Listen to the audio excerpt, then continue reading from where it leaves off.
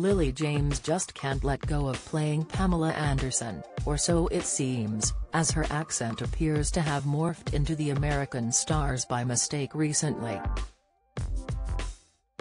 The former, 32, who hails from Esher in Surrey and is very much British, with an accent to match, has played the Baywatch babe, 54, in Disney Plus series Pam and Tommy as she sparkled in a revealing gold outfit on the red carpet for the series finale in Los Angeles recently though, her voice went seriously transatlantic. Speaking to Entertainment Tonight, she talked about what it was like to play Pam on screen, and said with a very strong American twang, it's always such a huge responsibility to play someone, a real person, particularly with Pam. Do you enjoy reading about celebrities? Sign up for all the best celeb news from the Mirror here.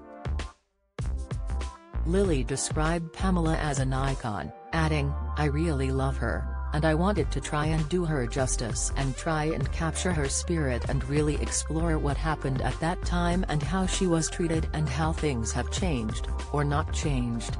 At this point she clocked herself and realized she was making the audience cringe.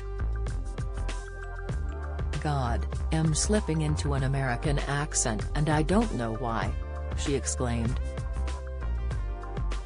Oh my god.